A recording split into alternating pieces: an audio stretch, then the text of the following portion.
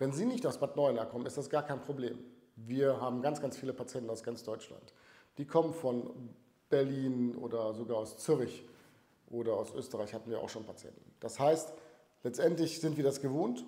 Allerdings müssen wir vorher einmal einen Kontakt aufnehmen. Das heißt, am besten ist, wenn Sie hier eine entsprechende Videosprechstunde buchen, weil damit kann ich erstmal einfach sehen, was haben Sie überhaupt und welche Möglichkeiten kann ich Ihnen überhaupt bieten. Weil nur damit Sie hinkommen, mehrere hundert Kilometer fahren, am Ende herausfinden, dass wir gar nicht die richtigen Ärzte für Sie sind, ist das ein bisschen Zeitverschwendung für Sie, für uns. Insofern ist es am besten, wenn Sie vorab ein Videogespräch buchen. Wir checken vorab, ist das möglich, dass wir Ihnen helfen können? Wenn ja, werden wir das alles organisieren, dass Sie vorbeikommen. Wir haben hier ein Superhotel nebenan, das heißt, da haben Sie ein First-Class-Hotel, das Steigenberger Hotel.